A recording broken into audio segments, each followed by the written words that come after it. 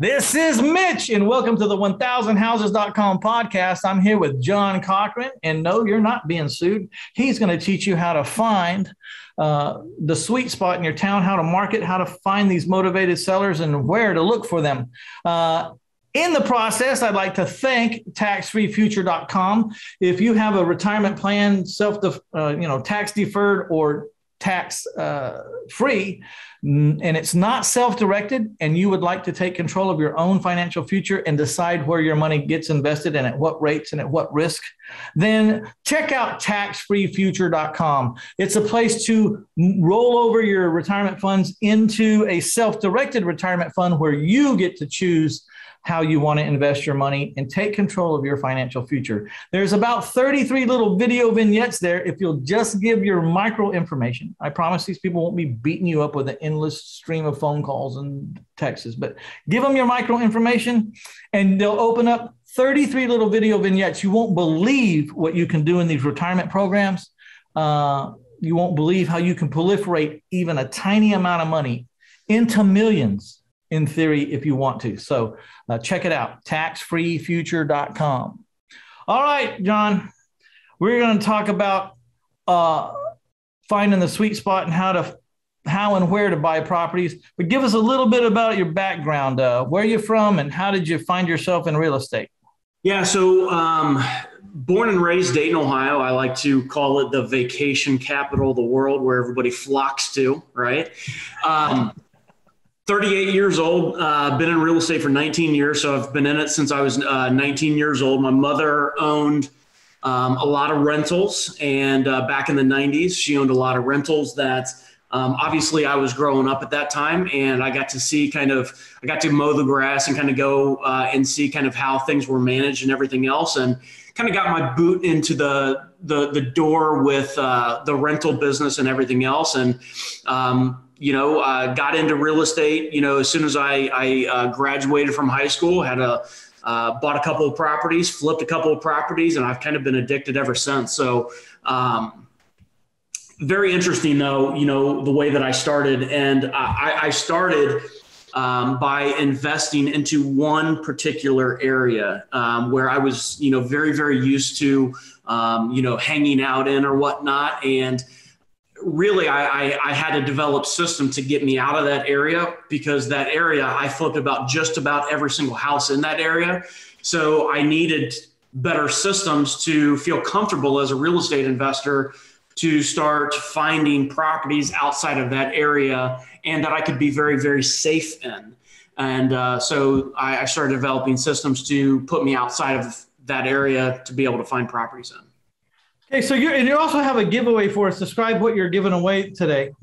Yeah, so I, I have a, a, tool that we use called the Sweet Spot Locator, and basically what that Sweet Spot Locator does is it all across the entire United States, even in all of the non-disclosure states where they don't disclose the sales prices. What it will do is it will uh, kind of scan uh, your area and then what you do is you scan the area and then it'll spit out a report to you that tells you the best places to go out there and invest into. So um, it looks at all of the sales history over the past 12 months and it will scan the entire you know area. About a 20 mile radius is about what people want to do. And it will scan that area and then what it will do is is it will recommend the best places to invest. It will also tell you where you should not be buying properties at as well based upon there's just not much activity you know in that area over the past 12 months. So um, you scan your area and then it will recommend the best places to go out there and invest. And then what you do is you take those areas where you know that there's a lot of buyer activity you know that there's a lot of buyers buying in that area and then you start marketing to sellers in those areas. And, and that will ensure that you know you're kind of into the right sweet spots Okay. So, where do you start uh, when you're talking about sweet spots? What's the definition of a sweet spot? Well, in, in my world, the definition of a sweet spot is is really it's it's the best place where buyers are actually currently buying houses in. That's what I define my sweet spot in as the best the best areas, the best locations where buyers are buying properties in. We will typically have, we actually have four different sweet spot zones. The first zone we call a wholesale zone. And uh, basically, what that is, it's, it's a sweet spot where there's a lot of buyer activity, there's a lot of people buying, but typically those buyers are buying, you know, below the, the median sales price you know those are landlords and, and stuff like that. So those are zones that you know you can absolutely go out there and invest in but you know in the wholesale zone you should wholesale properties out. You shouldn't go out there and rehab properties because those are just well below the median sales price. So you want to keep them you know below the median sales price. You don't want to go in there and, and fix those properties up and put granite countertops and everything in those because you'll just lose money then we've got a second sweet spot, which would be a we call it a prehab sweet spot. It's it's right around the average. So what we'll do is we will go through and scan an entire area and find out what the median sales price is in that area. And then once we know what that figure actually is, let's say it's $100,000, then what we'll do is we'll have four sweet spots off of that $100,000. So um, if you know, uh, if, if you go into an area and you, you know uh, the the bottom, you know, uh, you know the median sales price is around forty thousand, but there's a lot of buyer activity. That's a sweet spot, but you have to go through and, and, and typically wholesale all those properties out. That would be called a wholesale sweet spot. You know, and then what we'll do is uh, we've got a prehab sweet spot as well, which is kind of right around the median sales price. So if if there's a lot of buyer activities into a, a prehab sweet spot, what we'll do is we will uh, make sure that we prehab those properties. We'll make sure that you know we're making them rental ready and we're not fixing them up too much, but we're not doing you know not enough to those properties either. That would be a prehab sweet spot. Then we've got a rehab sweet spot as well. These are properties that you know uh, it looks at that median sales price. Properties that have a lot of buyer activity that uh, is going well above that median sales price. That's where we're rehabbing properties at. And then the fourth sweet spot that we'll have is, is an area where you shouldn't even go into. We call it an avoid zone. And basically what that means is, is that, you know, hey, John, don't don't go in that area because there's nobody, there's not enough buyer activity in that area. So when we look at when I look at sweet spots, it's all based upon how much buyer activity is actually going on into a particular zone. All right. So you'll even show them the no go zone.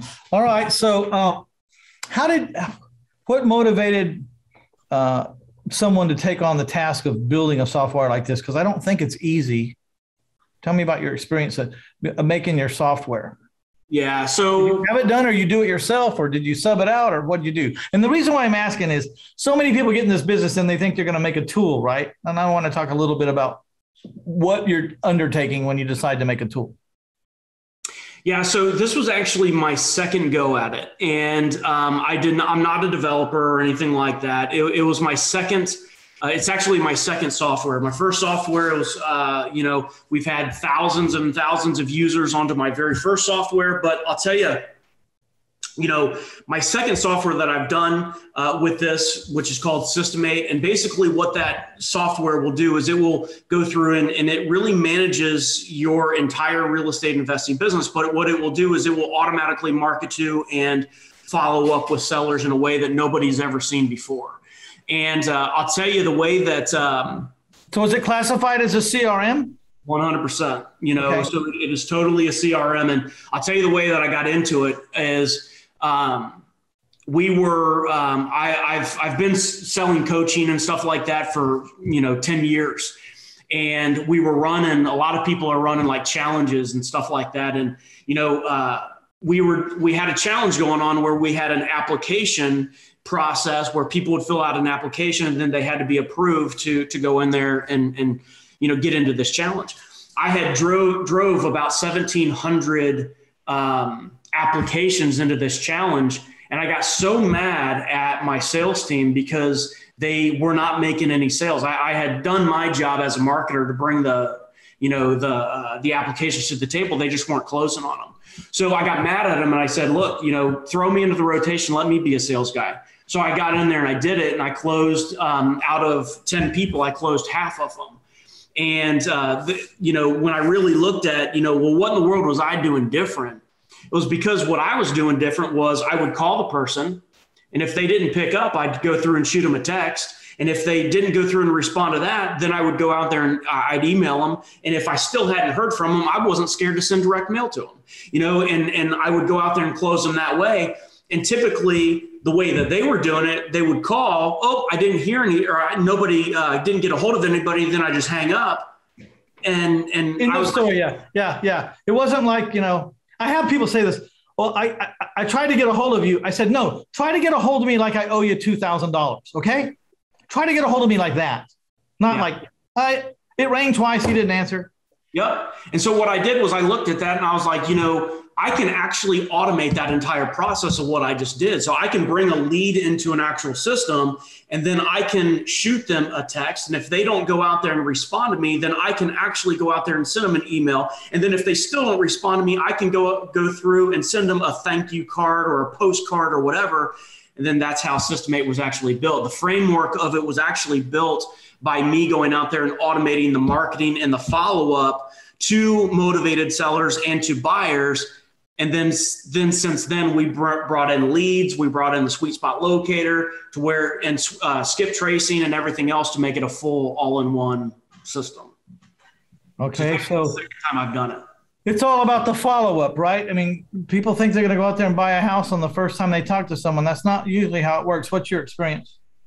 It won't happen that way. I mean, typically, you know, what I have found is that investors what what investors do see see i have a, a very unique you know uh, position right now because i own a software that provides leads and does marketing to motivated sellers and follow up i've got a lot of insights on what's going on into the actual market. I've got a lot of insights on what people are doing what leads are actually going through and responding etc what most people end up doing is is they'll go out there and they'll they'll uh, get a list of people and then they'll go and, and market to that list. They'll send a postcard. If they don't go through and get instant results, they won't send another follow up piece to that, you know, because they didn't do a deal.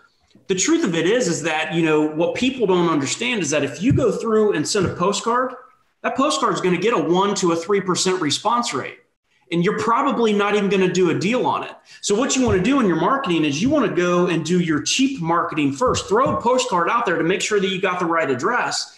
And then if they don't respond to you, boost it up, go through and follow up via phone call to that actual um, postcard. And what you'll see is, your, yeah, your postcard will get a 1% response rate. But when you follow up to it uh, on a phone call or a text, just following up on that postcard, you'll boost that up to about 8 to a 10% response rate. And people just give up too easy, you know, on the marketing side of this. That's point blank what happens. Yeah. So, you know, I started using um, LiveComm, which is, which was, uh, I'm a 50% owner of, of LiveComm, L I V E C O M M. It's a smartphone numbers, you know, they capture incoming callers' cell phone numbers, but it can also text mass distribution lists. But it can it also has a text merge feature where I can say, "Hey, John, are you still interested in the prop in selling the property at one two three Main Street?" So there's two variables, John and one two three Main Street, and I can send out a thousand emails in like 30 seconds to a thousand people, but it all seems very personal. The other way to do it is to tie it to tie it to a real life event like you could send out a text saying, Hey, John, I, I, just sent you a postcard. It ought to be in your mail like tomorrow or the day after tomorrow. You'll recognize as it's yellow. Would you please check out my postcard? And you send that. Like it's all about the touches, right? What the chances of him, like he'll be looking for the postcard now amongst all the other postcards because I described it. It's yellow and red and it's from cashforhouses.net, you know, or whatever. And and you just got to find ways to up your chances to move that 1% or 3% just a tick or two. You know, you're not going to, uh, at least I haven't found a way to change it to 50% or something, but you know, you just get people to start knowing you on a personal level. And when you can automate this stuff, like John's talking about, it, because trying to get anybody to stick to the routine, much less the solo guy who has to do everything to stick to a routine, is almost impossible. Like, don't even think you're going to follow up. If, if you're a, one man show and you're not automating this process, don't even think for a minute that you're going to do it for over 30 days because you're not. No. If you even do it three days in a row, you know? So you got to get you got to get a system like this. Um, plus, it's all about automation, right? You're you're not supposed to be doing the follow up. Where you make the money is showing up to the guy that says, "Yeah, come over, let's talk." That's where you make the money. Yeah, you, you don't make money as an investor writing letters, and, and quite honestly, Mitch, I, th- I think that's why a lot of people don't do it. Is you know for a fact that when somebody goes through and calls you, like a seller will go through and call you, you know for a fact that you should probably go out there and send them a card or something like that. If if you only had one seller right? One seller, and, and I said, you've, you've got one seller and you've got 30 days to go through and put that deal under contract, or, or you've got 30 days to go through and get that person to respond to you. Well, surely you're not going to go through and, and, and just call them or send them a postcard. Well, they didn't go out there and, you know, respond to me. That's not the way it works. You well, know, that's that's an interesting concept. Treat every one of them if this the, as if they're the only lead you have for the next 30 days. Like it's the only one you've got to work. So what all can you do? And that's, that's what my system does is, is it treats every single lead like it's the only lead they're ever going to have. Wow, that's pretty cool. Um, what do, what are your success rate? I mean, can we put this into like a, um, a percentage so people don't don't uh, get a false sense of of whatever? Like I, I like to tell people, you know, we're calling on 20 to 25 people to buy a house and we're staying with them you know to buy a to buy eight houses a, a month. I bought about 100 houses a year for over two decades. I mean i know the numbers you know. You're going to call on 25 people to get a house. Yep. So basically not only are you just going to call them but you're going to stick with them right? That's the most important thing.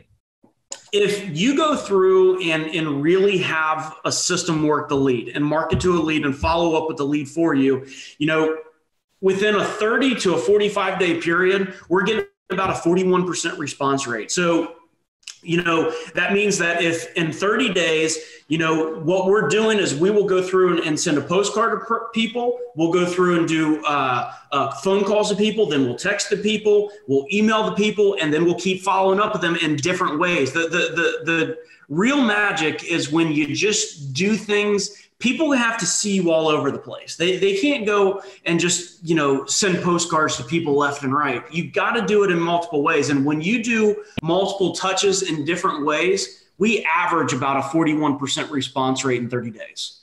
Okay. So when you, say response rate is don't ever mail me again a response. Yeah, but uh, that, that's is that te- part of it. Is that part of that 41%? I just want people to be prepared. 100%. Yeah, absolutely if you don't have people telling you to stop, you're not doing a good job at all. You're not doing a good job in your marketing. Yeah. You know, you're not saying the right stuff. Yeah. Yeah. Oh, and then, yeah, there's a way to mod- modify that. Um, but at least in my experience, Johnny, someone's just going to be mad at you because you sent them a postcard to buy their house. It doesn't matter what, what, you know, how, what, what your intention was, you know, it doesn't matter. But, and I say, if, if you don't, if you don't get a few of those, you're really not doing any numbers at all. So no, I'll tell you some of the weirdest. Um, I've actually had the cops called on me two times, um, literally for sending people a, a, a, postcard. You know, they they would they saw it, they saw my marketing in there, and they called the police on me uh, for mm-hmm. doing it. It's, it's it's like the weirdest thing, but I've actually had it happen twice. Did the police even show up? The police came to me and they said, just take them off your list. I mean, they they say nothing about it you know there, there's nothing that they can do. I mean there's there's no crime in sending somebody an actual postcard. I mean people people get they they bound to receive a solicitation from sears and and all kinds of places all day long. Why why is your solicitation so offensive? I guess because it, you're trying to buy their house but i don't know. So how much can people expect to pay for a system like this? I mean what do they have to budget for a decent crm system that'll and, and how many people can you be following in any one month? Is there a limit? Yeah, so we, we have actually we've we've we got different plans. So most people will go with like our middle plan with it. It's 200 bucks a month just to kind of have the the automation and everything uh, you know behind you, uh, you know doing all the automation. But then uh, the the very unique thing about that is we you can actually build a custom pipeline any way that you want. So you can dump motivated sellers or grab the sellers directly from us. And then you can actually market to them any way they want. So say that you want to, you know, your very first thing to, to put a postcard, you know, in front of people. It's very simple. You can you can go into our system, drag postcard, and then you can write whatever you want into that actual postcard. That's what's the unique thing about us is is that you know you can actually use the stuff that we've got right out of the gate, or you can actually write all of your own stuff. And, and one of the things that we really pride ourselves on is we actually uh, don't do much printed stuff. A lot of our stuff is all handwritten from a human. So, um, you know, we there's there's uh, automation that that uh, you have to do with all that stuff, and then um, all of our actions that we send out, like the handwritten postcards and everything like that. It, depending on what plan you are, is, is basically. So when you say handwritten, are you saying truly handwritten or a handwritten font that you can't tell the difference? I'm talking truly handwritten with a, an actual pen from a human being. So are you subbing this out overseas or what? No, not overseas, but we do sub it out. Yeah, stay-at-home moms. Uh, our our direct mail company that that we have integrated with, that we have an agreement with, it, they've got 2,000 handwriters over the entire country. So we send them files every single day to go out there and handwrite them. They they handwrite them up, and then they uh, of whatever they want to say in them, and then they throw them out in the mail. You know, that's dawns on me. That's probably really helping a lot of people that need to do some work and something that anybody can probably do, or most people, 99% of the people know how to write on yeah. a piece of paper with a pen. And some of these people desperately need a way to make a little extra money. So absolutely great, great cause probably. Uh, so you said that's the middle. Tell me the first, the middle. You just described the middle, about 200. Tell me about the the level one and the level three. Level one, it basically does not have any automation to it. It's $79 a month. It doesn't have any automation to it. So you can dump the leads in there. There is a lead, you know, count. I think it's 2,000 leads that you're allowed to have into your system, but you actually physically have to move these leads yourself. So you have to go in there, click the buttons uh, for any uh, direct mail or uh, any uh, text messages or emails or anything like that in order to go out. Kind of helps someone control their budget, though, right? Yeah. Yeah, like so if you're working on a shoestring, you might want to take that one because you decide if you have some money this week or whatever, you make your moves. And I'm just trying to be a realist. Not everybody, you know, everybody started out broke as far as I know. Do you know anybody that started out rich? No. No, no I don't. have. I know some people that started out with a shit pot of money and then they went broke and then they had to learn how to do it and get it back because it's too easy to blow it when you show up with a bunch of money and you don't really know what you're doing. So. Absolutely. Our so, middle plan is 199 a month and uh, there's a 25,000 um, lead limit into there. Um, you know, and that's because we provide leads. So, you know, you can go out there and get 25,000 leads from us. Then our, uh, our last plan, which is our highest plan is 299 a month um, and it's unlimited leads. It's uh, unlimited uh, skip tracing. It's basically everything is unlimited with it. Yeah. Uh, and how much is that level? The level three? Two ninety nine a month, and our um, our direct mail, everything that we send out automa- automatically, we do at cost. So. it, yeah, I, I, I want to point this out that um, you know about twenty five thousand leads. You think, wow, that's a lot I mean, let me just say on any given day, we're tracking 10,000 people and it should be, you know, we, we would want to get it to 30,000 people, you know, we're just, the only reason we're tracking the 10 is because we culled it down to like the highest potential profit is these 10,000 people, but there's a whole nother set of 10,000 after them and 10,000 after them. So it doesn't take long to rack up a bunch of leads. Um, and it's a numbers game, no? No, absolutely. Yeah. It's totally numbers game. And so I would say this it's just if you get the $300 package, it only takes one one solid deal or a decent wholesale deal to put 10 grand in your bank. That's a lot of $300 is a month.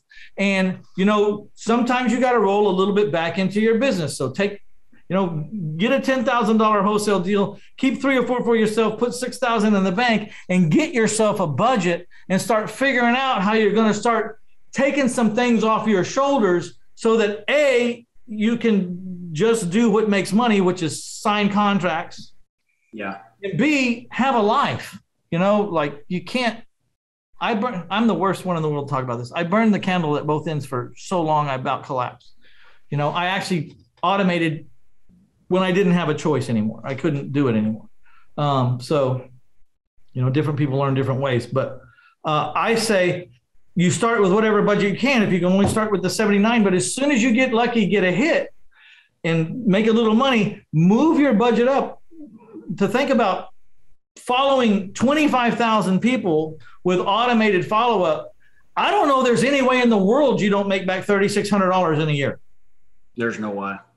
There's no right, right. That's what I'm saying. But you got to commit to $3,600 for the year or, you know, uh, $2,400 for the year, something. You got to stay committed to it. And I, I personally think $300 a, a month for what you're doing is an incredible value because it's going to pay for itself very, very soon if you have any skills at all. You, ha- you have to learn how to close, though. If you don't know how to close and write a contract, let's get that out of the way first before you start spending money.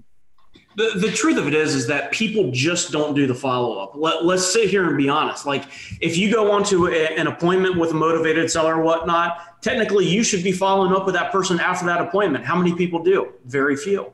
You know, if, if you go out there and put an offer out onto a property and they reject your offer, most people say, let's go to the next lead. You'd never follow up with that person. Our system never stops. You know, it never stops the follow up and and that's that's the missing piece that so many people are missing out on that they just don't do because they look at it as busy work. That's what we automated. Yeah. Um, one little trick i learned lately i don't know. Tell me if you tell me if you use this. I don't i don't know if you do or not. Um, but i was just picturing it in the um, handwritten letter. I don't know if it gives the letter away or not but i was always like to say you know leave my phone number if you want to call me and talk about it here's my phone number uh, I took the time to make a free recorded message kind of concerning your house. Now it's mis- a little misleading because it's concerning your house, but it it sounds like it's specific, but it's not. You know, it's concerning everybody's house. And so they call, and the recording can say anything you want it to say, but LiveComm is capturing their cell phone number as they're listening to the recording. And I'm getting a text saying someone from this number is listening to a recorder from handwritten letter number 104. You know, and it's an extra chance to pick up uh, a lead because sometimes people don't want to call phone numbers because it's confrontational. They're going to get someone on the line and they're going to have to deal with a salesman who's trying to buy their house or whatever they're afraid of. Um, but they will call a recorded message because they think it's non-confrontational. Little do they know that you're fixing to get their phone number. Give them two or three minutes to get through the recording, and then you're going to call them. Yep. So I added that little feature to my um, letters and postcards here recently um, I'm waiting to see exactly how it works, but we've already had it work like four times where they're not contacting us, but we know how to get a hold of them. Yeah.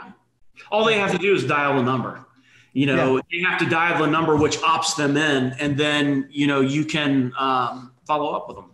Yeah, and then they would go right into the CRM in your case, right? Like you could yeah. you could figure that out. So, all right.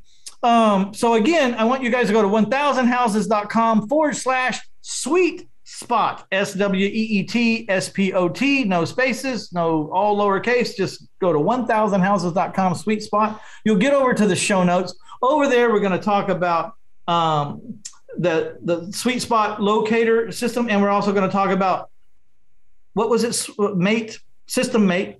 Yep.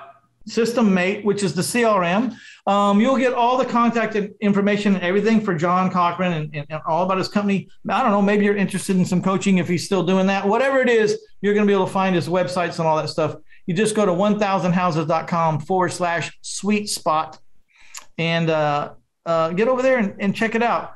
Believe me, if you're a one man show, you need a CRM you, like nobody's business. You you actually need a CRM and you need a, a, a virtual assistant or VA somewhere o- overseas, something cheap you can handle. You got to have those two things, or you're or, or you're killing yourself. You're in your own way. You are definitely in your own way.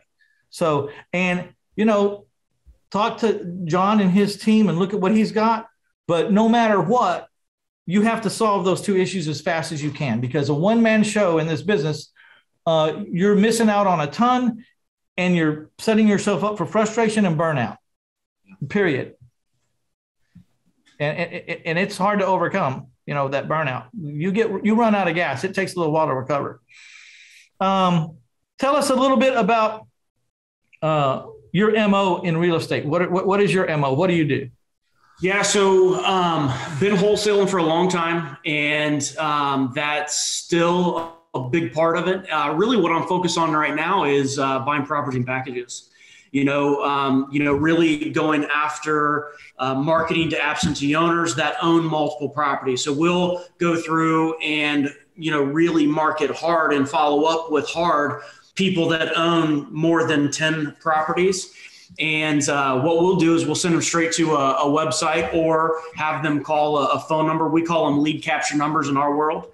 And um, we'll have them call that number and uh, then we'll just keep following up with them from there. But that, that's my big thing right now uh, because, um, you know, what I found is that those people will actually carry a lot of the, uh, the notes, you know, with. They carry the paper because they understand cash flow. They understand first lien. They understand, you know, that the tax ramifications are getting a lump sum right now. They understand how your down payment or things offset their risk. That was perfect, man. I love that. I love that. That's our big focus right now. Is anybody that's got more than ten single family units? That's that's who we're marketing to.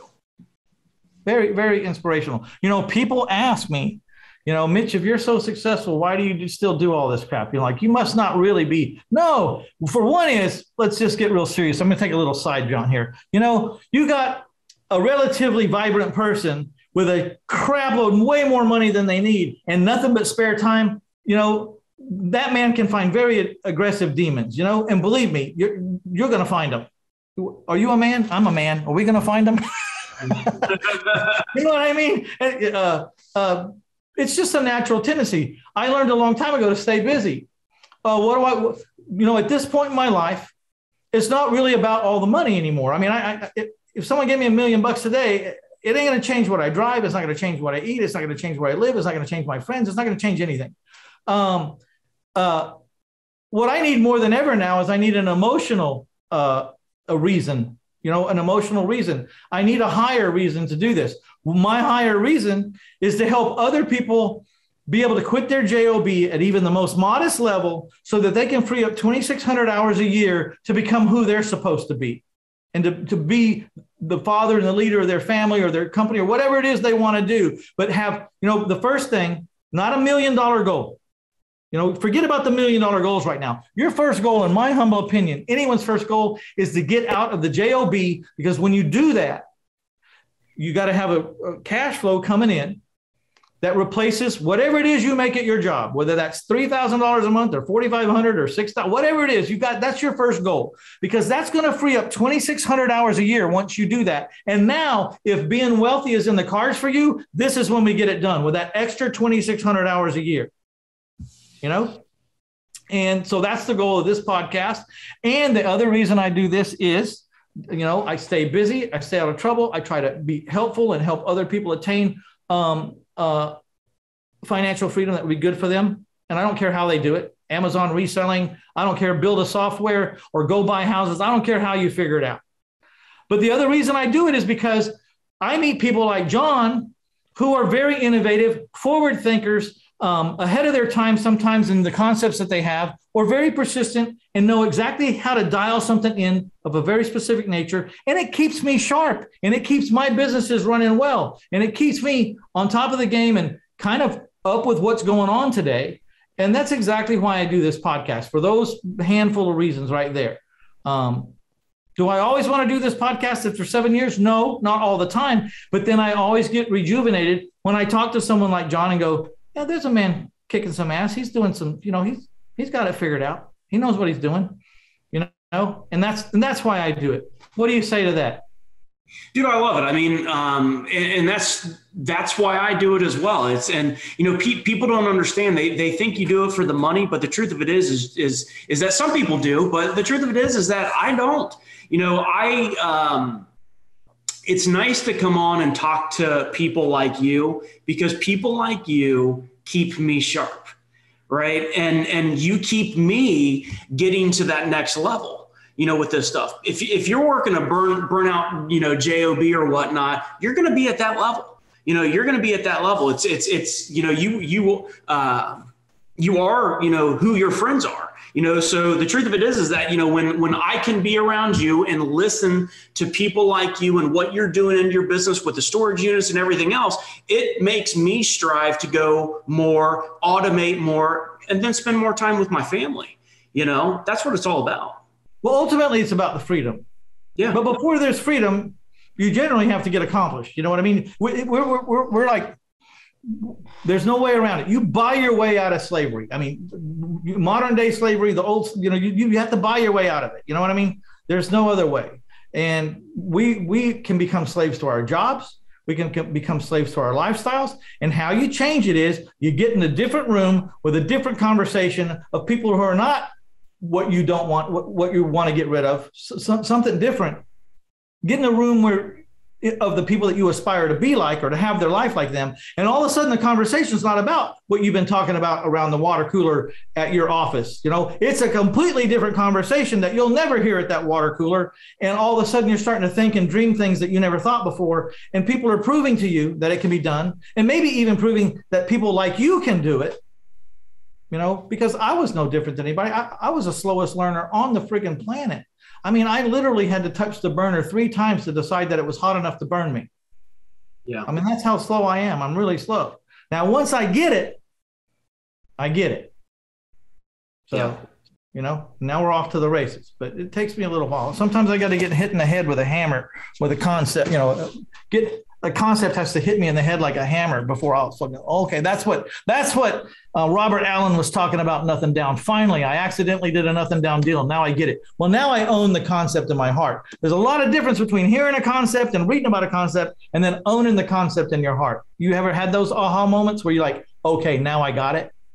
Yeah, it's it's it all comes down. You know, as you're saying all that stuff, it's all follow up you know the, the concept has to keep coming around to you. And, and and that's the same way that you know business world works as well is is that you know you have to keep hearing things over and over and over and i'm the same exact way. You know you've got to keep hearing it. And then once you hear it enough bam you got it.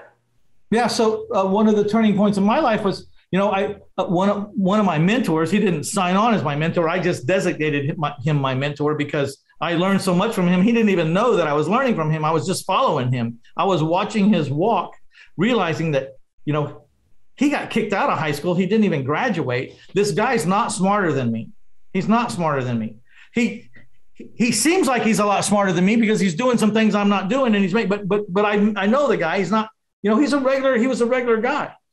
And he's still a regular guy with a lot of money. Uh, 700 free and clear houses, you know. Um, one day I had been watching all the get rich quick real estate tape seminars, gurus, late night infomercials, and all that stuff, and hadn't quite decided if any of it was worth a crap. You know, being the naysayer, ah, it's just a bunch of sales bullshit. He invited me to go to. He says, "I, you want to go with me to eat lunch?" He says, "Yeah," but he says, "I got to stop by the post office on the way though. It's April fifteenth. I got to drop off a check." And I said, okay. He goes, yeah, it's like killing me. You may have to pick me up off the ground when I get out, you know, before this is over with. I said, why? He goes, look at the check I'm sending in. I'm like, holy shit. I mean, his check was more than I've ever made in the like the if you added up my last five years of salary, you know, it was more than that, you know, like way more than that. And that's when it that's when I had an aha moment, said, you know, even if I'm half the man that guy is, I'll take it. You know, I'll take it. And I don't think I'm half the man this guy is. I think I'm just like him, you know. So why can't I do it? And the the the the the, the answer was education. The answer was education. I just didn't even know what I didn't know, right? So let John teach you how to do a follow-up system of CRM, what it's all about. If you don't know, CRM stands for customer relations management. It's how you stick, it's about stickiness. It's about how you stick to your leads and how you do it automatically while in your sleep, uh, while you're doing other things, your, your, your follow up. And then when the important call comes, you know, your alarm goes off and you're off to the races doing what you're supposed to be doing, not the other stuff. Go to 1000houses.com forward slash sweet spot. Get over to the show notes and also learn about uh, Systemate, the CRM, and uh, your, get your free sweet spot locator. All right, my friend, I'd like to thank you so much. I could probably talk to you for about 10 years and we've never covered the same topic twice. But uh, appreciate you. Say hi to everybody in Dayton for me. All right. I will do that, man. I thank you for having me on, man. It was it was a blast. All right, this is Mitch Stephen with 1000houses.com podcast. I'd like to thank everybody out there for stopping by to get you some John Cochran. And I would like to thank you guys for also supporting taxfreefuture.com. If you've got an IRA or 401k or self tax deferred or, or tax free retirement plan, and you would like to have it self directed where you get to decide where this money goes and what kind of risk you take, then go to taxfreefuture.com and check it out. You will be amazed. Make sure you get those 33 little video vignettes. All right, we're out of here. Bye now.